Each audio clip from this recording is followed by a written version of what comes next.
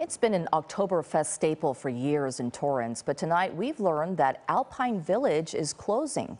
KCAL News reporter Tena Ezzeddine spoke with some who are sad to see it go.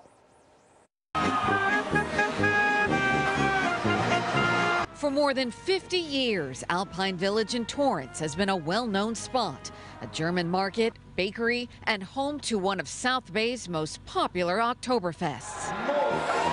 It's a really lively place, and uh, I'm gonna miss it. But now the stores in the shopping court must close. The property has been sold. Store owners learned about the sale, then the next day, this eviction notice. Got to get out in 30 days. They should have really informed the tenants and not just giving out uh, a note a day before we get an eviction note saying uh, has been sold, and then tomorrow you guys going to get an eviction note. Have a good day that's pretty sad. The Alpine Market closed this week and last week. The swap meet that was held for so many years in this parking lot, it closed. And now the stores in this village have to be out by the end of the month.